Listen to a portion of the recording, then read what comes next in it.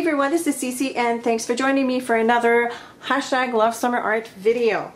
So for my second canvas, I'm going to use Sennelier's pigment powders or straight up pigments or they're just powders. But essentially this is color in a powdered form and it's kind of like original state I would say. And I know that these are usually super expensive but I just wanted you to look at this. Okay, so check this out. This was the original price.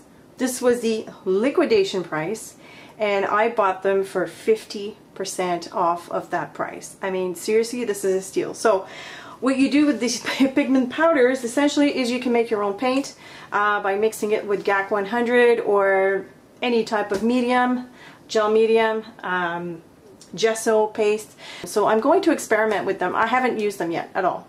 So I have gesso, which I'm going to put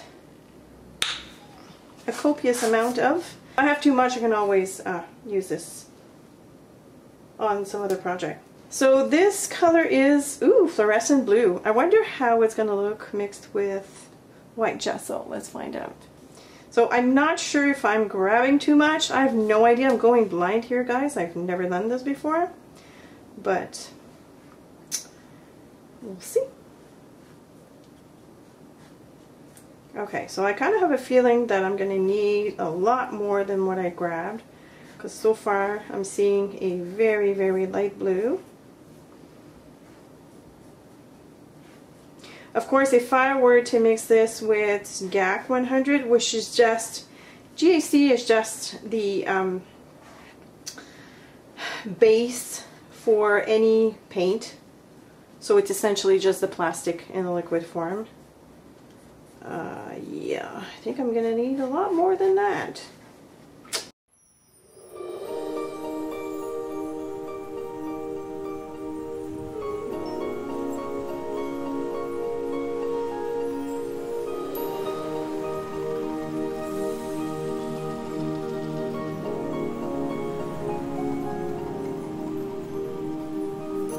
I'm going to spread this with my palette knife. Ooh, I'm getting speck.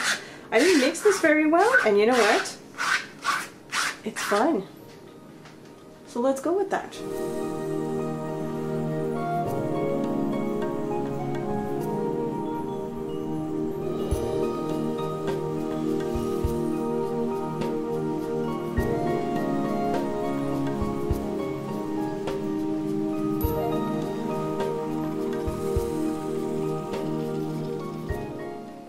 Know if you can tell. It's tough to, to get the camera to pick this up. Um, it's still light outside, so I kind of, oh yeah, you can see it from down here a bit. So that is the texture that I'm getting on this background, which I love. So yeah, I'm not digging the baby blue. I don't know what it is. I mean, it's, it's fine, but I think I'm going towards something pastelish and I'm not quite sure how to handle this because I didn't do pastel colors all that well. You know, some people are good at stuff and other people are good at other stuff. I'm more of a vivid color kind of person. Pastel, I love it. I just can't pull it off. So, um, yesterday in the comments, some of you have been asking about this product that I put on my hands because I like to finger paint. So it's called Art Guard. It's by Winsor & Newton. You can probably find this in all good art supply stores. Okay, so I've pulled out some kind of turquoise-ish. This is the cheapy brand like Ceramcoat by Delta. I shouldn't say cheapy. They're just as good, you know. It's just a different kind of finish.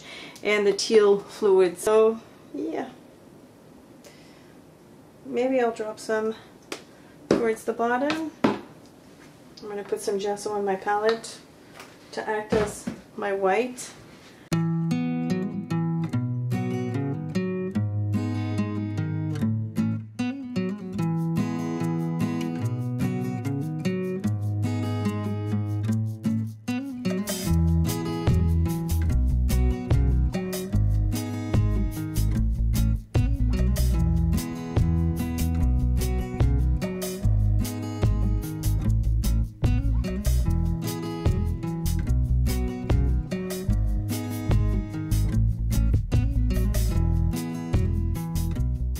kind of liking what's going on here. That looks like the sea. Ah. Oh. it looks like the sea. Maybe I've changed my mind again. That looks like the sea. Why didn't I think of that before? Should I do a seascape? I want to go swim in that water. Maybe I'll put a cloud right above the sea line right here. Oh. Now I have four clouds. So I need to do something about that. Oh, I'm liking that. Okay, more clouds. more clouds. Little white fluff. Maybe a formation of fluffy clouds here. Yeah. Yeah, yeah. What do you guys think? Ooh, I like that. Okay. So that's, I just changed my mind. I'm going for tropical here. So what I think I'm going to do is do like a palm tree somewhere. I'll think about that. But I'm kind of liking that very much. And the theme is summer, right? Love summer art. So yeah. See, this is, um, I love it when that happens. That piece, whoops, just di dictated to me what it wants to be. I had a completely other idea in mind and because I added teal and turquoise that thing just took a different turn like seriously different turn. Oh I love that.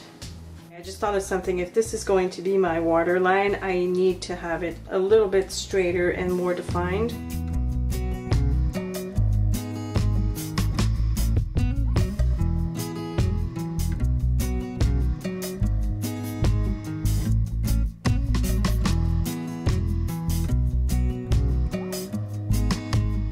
see if I can actually paint with light modeling paste. Um, I know I can do the tree trunk with a palette knife or maybe it'll be on this side. Yeah, maybe on this side. Um, but for the leaves, or yeah, for the leaves of the trees, I'm gonna have to figure this out. So let's do the trunk first. I'm going to mix the light molding paste with a little bit of, I don't know, I have raw sienna here. This is, again, pretty old paint. I don't even know if it's good anymore, but we'll soon find out. I'll put a little bit here, mix that up. Oh, I like that. Okay. I think I'm going to mix the regular light molding paste with this. Uh, let's see here. Okay. So I'm going, I have no idea what I'm doing by the way, so I hope you're not taking too many notes. Um, so I'm gonna have that tree kind of like coming this way. So let's see here. That's a big tree trunk. Yeah.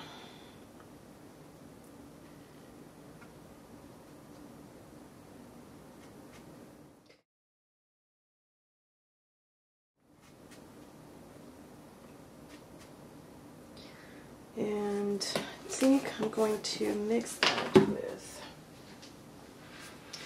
white.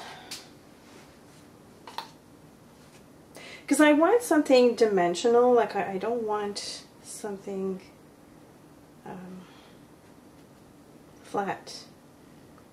I don't do flat really well. I like to have texture and dimension on my work.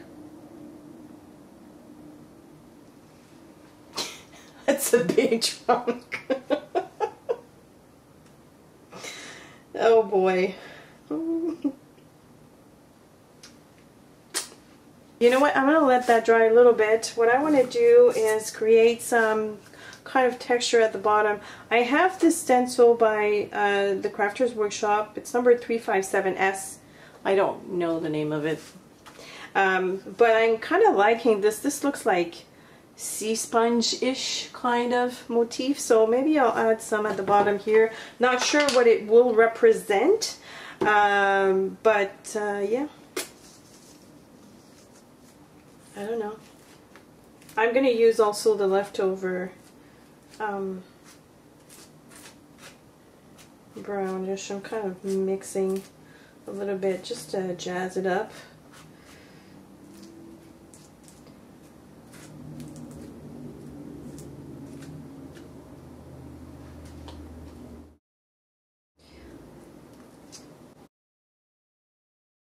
Oh, I kind of like that. This is fine.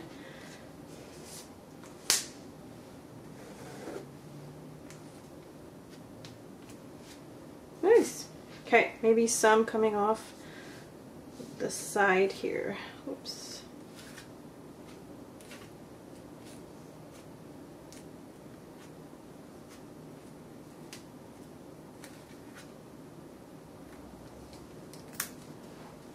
Yeah, that works. Okay, so nothing is dry, so I kind of have to be careful. I have a big glob of light modeling paste here, and I'm going to add yellow green to this. I could have taken green gold, uh, but I want to go light, and if I need to add, then I'll just add later on. Oh, I'm liking this color with that. Oh, that is awesome. I hope this is going to work. I've never tried this before. Um, I'm going to be flicking the branches with the molding paste. And then I'm going to take my palette knife and I'm going to define the leaves. So let's say the center is here. No, not thick enough. Whoops. Oh, this is going to work.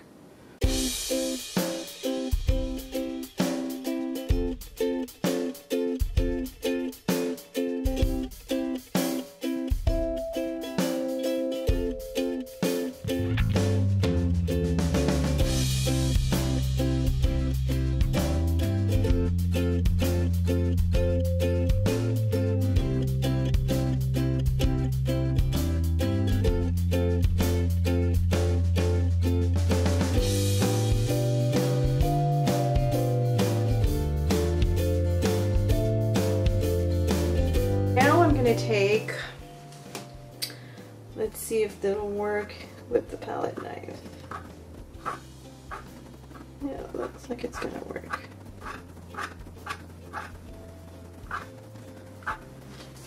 So you see what I mean? So I'm adding the details by flicking my palette knife and just creating the actual leaves. And I don't want them to be perfect anyway, so that's great because I didn't do anything perfect. But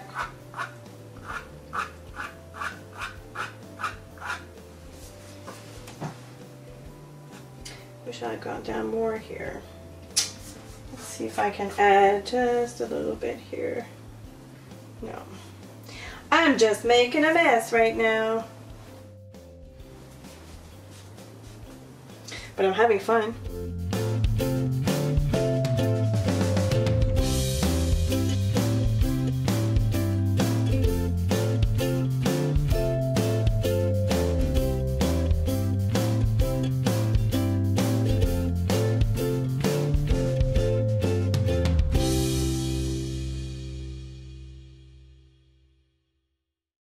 At some point I'm going to have to stop. It's probably now. I need to stop now. Okay, I think it looks better if I run my palette knife on the top part of those, um, I guess they're fronds, right? Are they palm fronds? I think they are. And that way it doesn't look so, I don't know, structured. I kind of want this to be a little bit abstract and not so detailed. You know what I mean? Yeah. I think that looks much better. And I kind of want some of those branches like sticking out maybe like going in a different direction. It's not easy to paint with um, modeling paste. Okay, I'm liking this better. Okay, so now I have green gold. This is um, from Golden. And I'm going to see if I can create some kind of, whoops, I picked up a bit of white at the same time. Interesting. Some kind of contrast.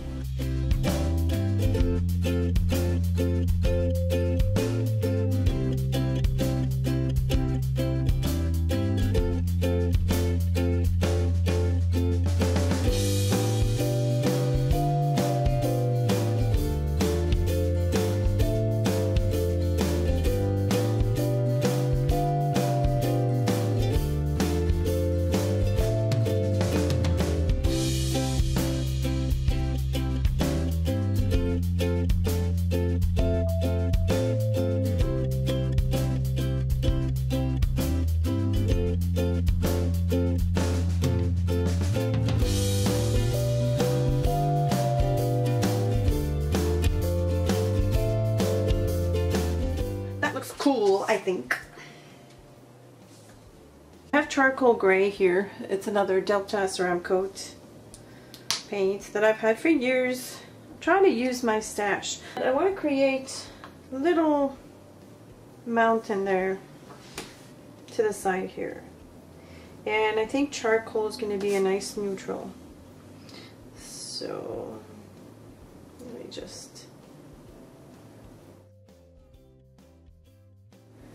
kind of like unevenly.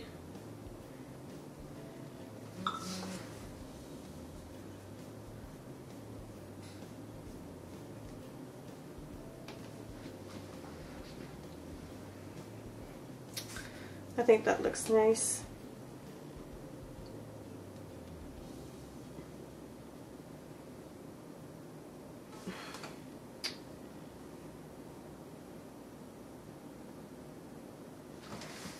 Okay, I kind of wanted to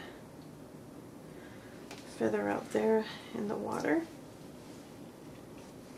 Just try that again. Okay.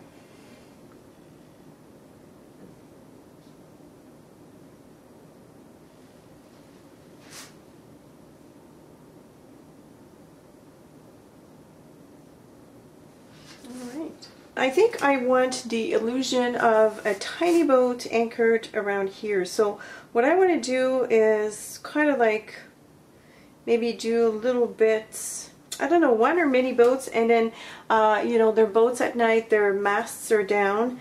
So I'm going to use, again, the charcoal. I'm just going to make like...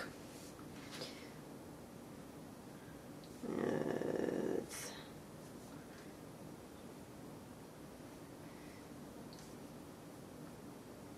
maybe like a catamaran of some sort. I don't think I have this correctly done, but here.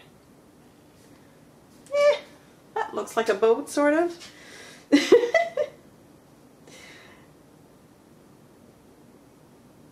here.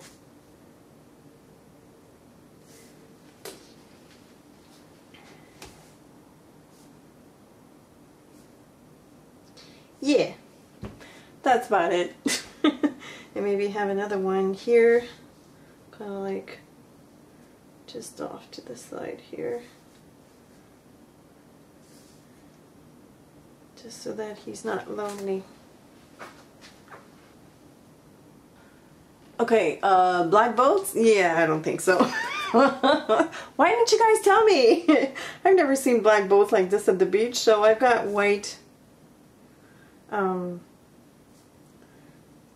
what's it called? Paint. and I'm gonna pretend that I know what I'm doing and that the black was meant to be shadows.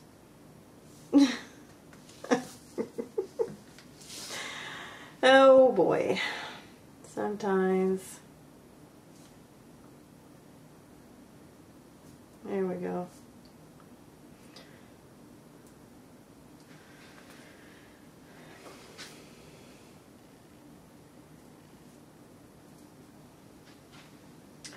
I think that's more like it.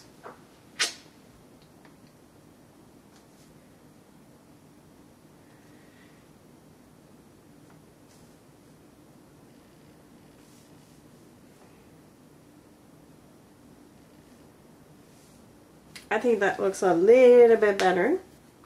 I'm going to put a lot of water in here and I think I'm going to add just a tiny bit of shadow under the boat.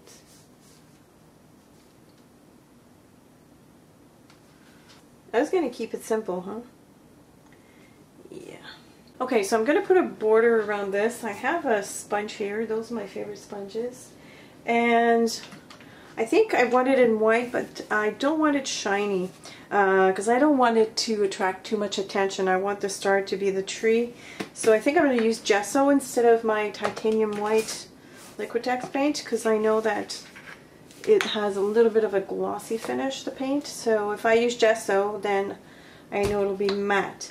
Now, I'm not sure this is going to work. This is an experiment because what I want to do is I want to create some sort of a an oldish vignette. So I'm going to lay down the white first and then I might go back around the edges with a little bit of charcoal gray just to make it look like, you know, the, one of those, um, those old postcards that you can pick up in souvenir shops. Um, I know I have some from Hawaii. Um, I should look at them. I have no idea where they are. So I'm going to go with my instinct and see if that is going to work. And if it doesn't, oh well.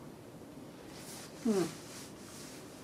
Do I like this? Yeah, I think I do. I want something not too, um, not too large. And I want the corners rounded. That's what I'm trying to do. I'm trying to round the corners here. I think that's kind of nice. Oh, I like that. Okay. Oh, I'm excited. you never know if it's going to work out until you try it. And you know what? If it's if you don't like it, you can always gesso over the whole thing and do it some other day. but it's always nice when a plan comes together, however, so. And I know I have some, these look like, um, let me zoom in. They remind me of seashells, which I didn't intend to do that, but it kind of worked out really well, so I'm kind of happy.